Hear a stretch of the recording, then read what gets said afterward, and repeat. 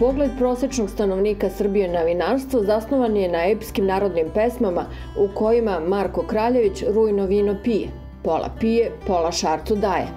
Ukratko rečeno, vlada predubeđenje da je to muški posao i da tu žena nema šta da traži. Međutim, prošle godine nekoliko dama koje dobro poznaju vino i vinogradarstvo zaključilo je da je vreme da raskinemo sa predrasudama i da javnosti treba predstaviti ženski rukopis u proizvodnji piće bogova. I tako je nastao ženski salon vina. Ovo je drugi salon ženskih vina po redu. Uh, imamo 43 izlagača. Uh, svaki izlagač ima neku ženu uh, zaslužnu zbog koga se nalaze na ovom salonu. Predstavit ćemo vina kako domaćih, tako i autoktonih sorti. Ima tu i nekih manjih vinarija, novih. Ima vinarija koje su skoro promenile vlasnike, pa sada imamo žene u, u novoj vlasničkoj strukturi. Imamo afirmisanih već vinarije, imamo novih vina, mladih vina, ali isto tako i arhivskih vina koje su već se potvrdila na tržištu, ali i vina koje su dobila ove, ove godine nagrade na velikim međunarodnim ocenjivanjima. Ono što jeste činjenica da, da su žene u vinskom biznisu, da ih ima mnogo, ali da nisu mnogo vidljive često. Nekad svesno, nekad prosto tako je prilike posla su takve da, da one ne izlaze u prvi plan. I zato smo mi smislili jednu ovakvu organizaciju gde želimo da istaknemo doprinos žena u srpskom vinarstvu i vinogradarstvu. Žene rade nekad u vinogradu, nekad u, u, su tehnolozi, nekad rade u prodaju, u marketingu, nekad su vlasnice vinarije pa rade sve to zajedno. Ovaj, ali eto, mi smo hteli da ih sve objedinimo na ovoj manifestaciji i da ih predstavimo javnosti. Jedno od najbolje ocenjenih vina ikada, ovaj, srpskih vina, je napravila žena, na primjer. Žena ima u svim segmentima vinskog biznisa, od vinograda pa preko kreiranja novih vinskih ukusa do njihovog ocenjivanja. Poslednje godine je sve razvijeniji vinski turizam, te su i tu mnoge dame vične kulinarstvu pronašle novo kreativno igralište. Pre nekoliko meseci tom ženskom vinskom jatu pridružila se i jedna mlada devojka bez mnogo radnog iskustva, ali sa vinom u genima. Vinarija je porodični posao kod mene ovaj, kući.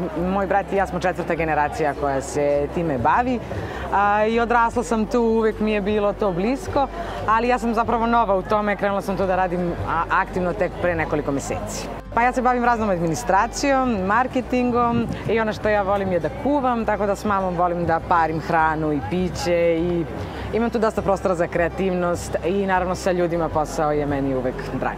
Ono što mi od uvek, kako bih rekla, gajimo u našoj vinari su autoktone sorte. Sada ima dosta i prokupca i tamjanika na tržištu, ali ono što mi imamo interesantno je tamjanika barikirana, koja je provela šest meseci u buretu. A ono što je novina kod nas u vinari, što će ovaj, u oktobru, kada bude bio dan prokupca, izbacujemo novu etiketu a, pod imenom Gaga, ovaj, po mom tati, i to je 100% prokupac. Iako je salon ženskih vina namenjen promociji ženskog doprinosa vinogradarstvu i vinarstvu, neke dame su ipak odabrale da ostanu anonimne i da ih na ovoj manifestaciji predstavi muški deo ekipe. Tako je i sestrinstvo manastira Koporin u Beograd poslalo jači pol. To je vinarija Braničevske eparhije koja nosi ime Ambelos. A, to na grčkom znači vinograd, vinova loza. Sama vinarija je osnovana 2016.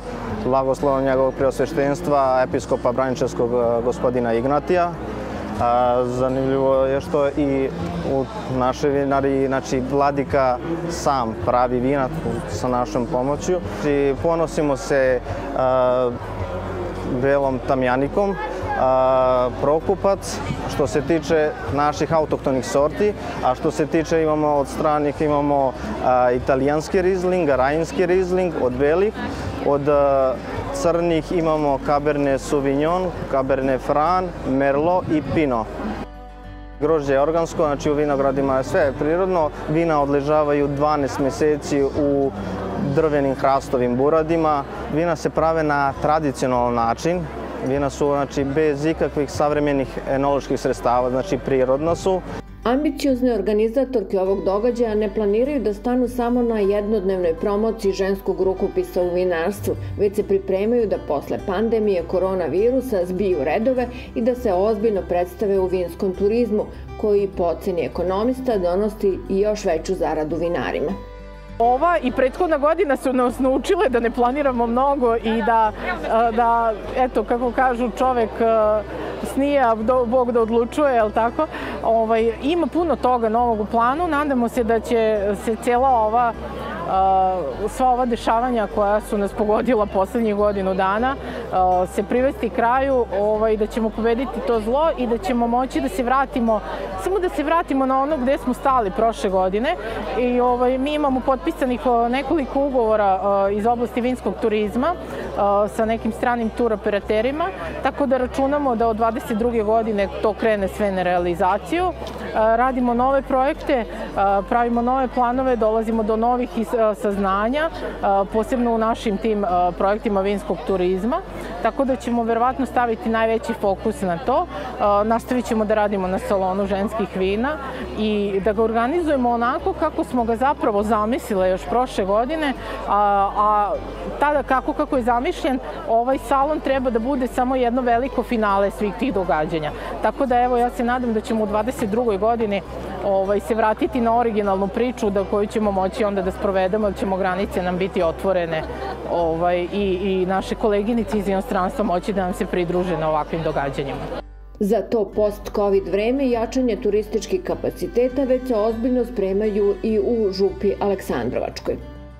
Ja mislim da je Župa sjajna za vinski turizam zato što je prelepo područje, okružena je ne samo Koponikom, ima i Željin, i Jastrebac, i Goč, možda se hajkuje, sada imaju i te biciklističke staze a, i naravno ima mnogo vinarija, sad u Župi ima registrovano 80 vinarija, jako je primamljivo za taj aktivni odmor i naravno vino i klub.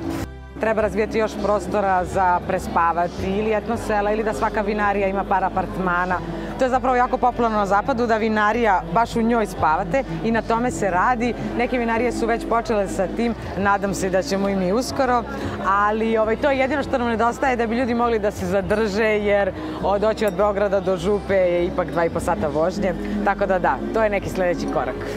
Sve u svemu bio je to jedan elegantan i prijatan skup koji je okupio mnogo ljubitelja pića bogova.